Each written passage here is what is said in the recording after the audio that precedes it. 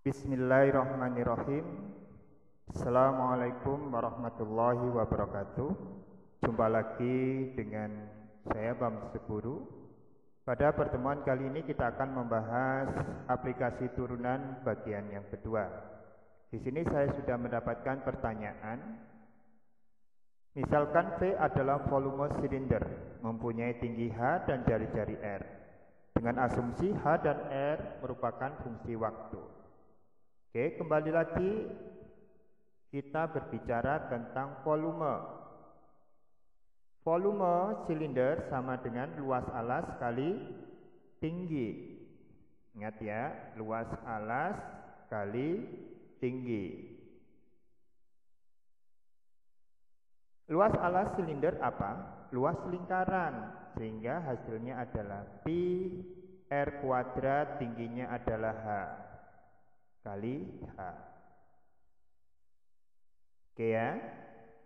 Nah, sekarang bagaimana hubungan antara V, R dan H di mana V volume jari-jari dan tinggi itu berubah terhadap waktu. Maka kita turunkan dV dt itu berarti sama dengan d dt terhadap pi r kuadrat h. Ingat, di sini r fungsi terhadap waktu, h juga terhadap waktu. Yang konstanta hanya p. Dengan demikian, maka kita turunkan terlebih dahulu r-nya. Berarti sama dengan pi h dikalikan 2r dr dt ditambahkan pi r kuadrat dh dt. Oke, karena turunan h adalah satu, sedangkan turunan r kuadrat sama dengan 2r. Ya. Jadi kita dapat hubungan perubahan volume terhadap waktu adalah sama dengan pi h kali 2r dr dt plus pi r kuadrat dh dt. Ini adalah uh, untuk menjawab bagian yang A. Oke, kita lanjutkan untuk yang bagian B.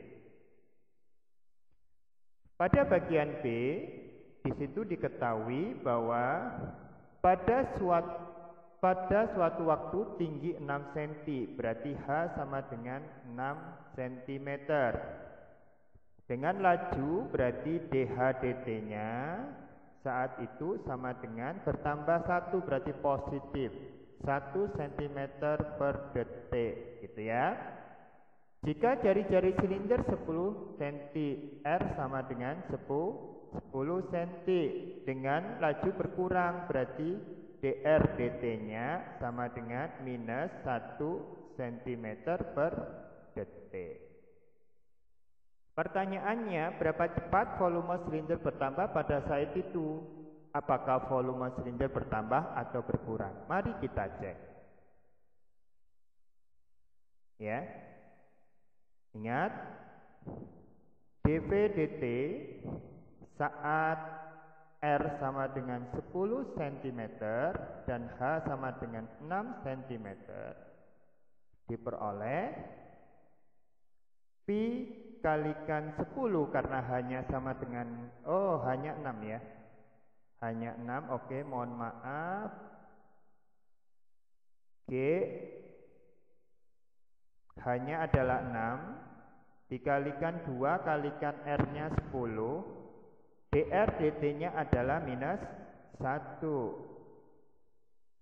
Oke, kita tambahkan pi R-nya adalah 10, berarti 10 kuadrat, dikalikan DHDT adalah 1. Sehingga hasilnya adalah Pi.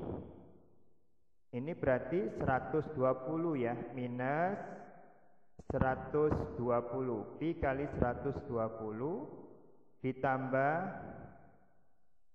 100 Pi. Sehingga hasilnya adalah minus 20 pi cm persegi per detik. Berarti kesimpulannya volume silinder berku Jadi volume silinder berkurang ya karena negatif. Oke, semoga jelas. Saya akhiri. Assalamualaikum warahmatullahi wabarakatuh.